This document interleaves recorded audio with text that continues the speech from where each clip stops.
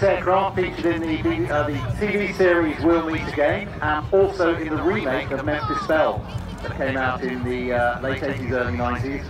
But if you get a chance, look up the original Memphis Belle made by William Wyler, which actually shows real combat footage of the guys that flew these. And the one thing that strikes you was how young those young men were, going out day after day, night after night, and, and flying those missions. Wonderful photo there for you over the hangars.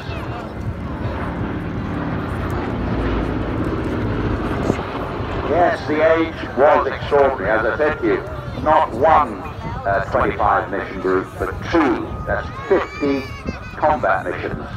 Then flew the P-51 Mustang because they wouldn't let him do another tour, but he wanted to be uh, with his beloved B-17. And eventually, as I say, he was killed. And he was just, having done all that, he was just 21 years old, Bert Stiles, Serenade for the Big Bird. In 1980, Ted White and Elly Sallingboe formed the Beach Supporters Club. And it's those who have been raising huge amounts of money to keep this aeroplane flying. Look them up, Google them, have a look, and uh, get involved because this is an important piece of history. Without public support, these wonderful examples of living history simply will become dusty relics in a hangar somewhere.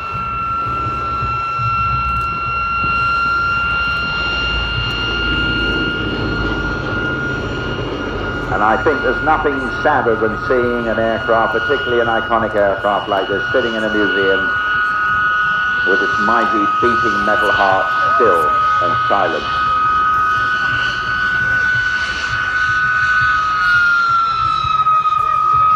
They're noisy little devils, aren't they, the vamps?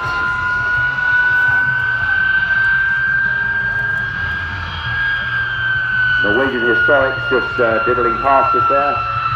Yes.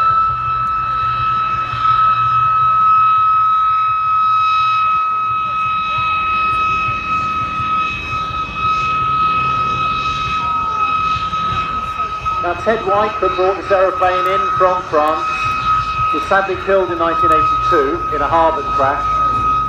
And that is why one cowling of the aeroplane is painted in the checkerboard in memory of him.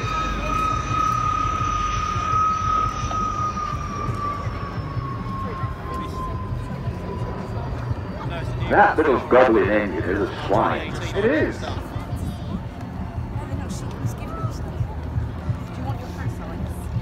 I'm convinced there's a Goblin engine behind some of those um, hand dryers you get in toilets now where they're really, really fierce. I'm convinced behind the wall is one of those. Dyson. There we have Andy Milliken going out in the Hurricane. They're going to be going back to Coningsby.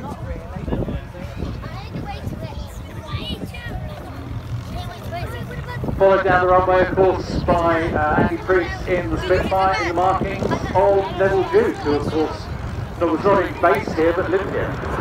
A wonderful man.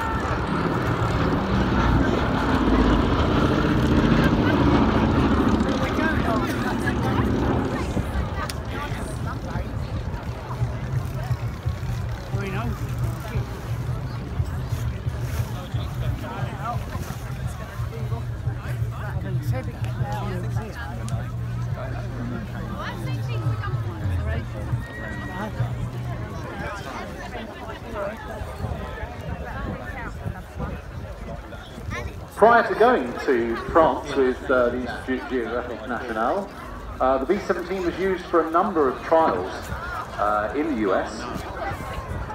At one point it had a man-carrying pod on the starboard wingtip, also had an infrared tracking device, but they've got no references available of what it actually did, so I think it was all a bit secret swirl.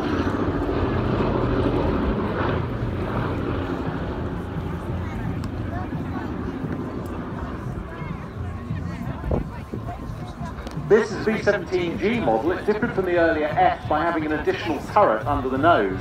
And this was to counter the head-on attacks that were coming from the Luftwaffe. They found that if you came head-to-head with a B-17, rolled and then pulled so that you disappeared downwards, you had a better chance of scoring hits.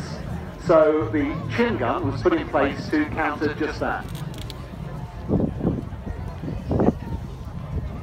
During the uh, making of the remake of Memphis Belle, uh, a few people tried this, and both the B-17 pilots and the, uh, the Messerschmitt 109 pilots who were flying for the film said it was really scary.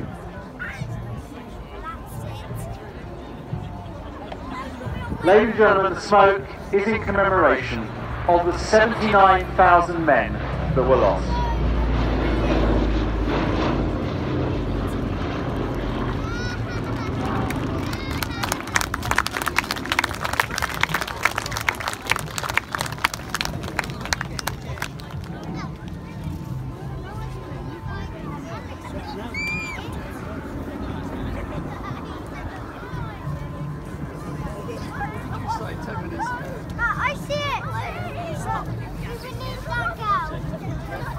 oh, how lovely it is.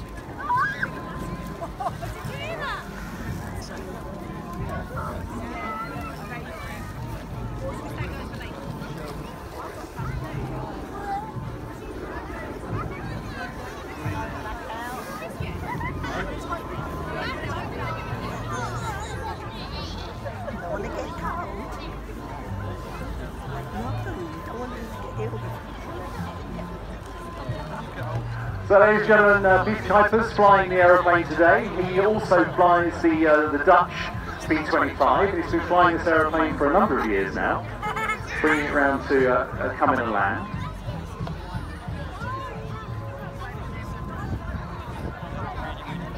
Giving the residents of Cranleigh a good look as he comes over.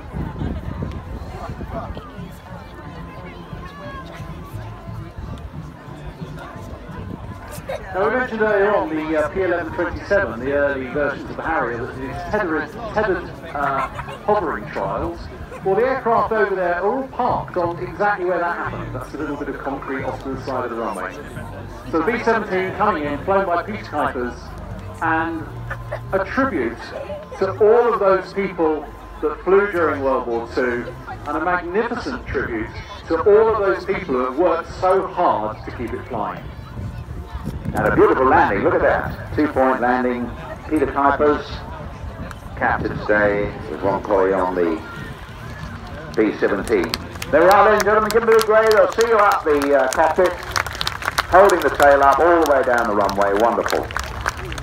Great piece of flying. There we are, another piece of living history. So, Melvin, what are we up to now, dear boy? Dear boy.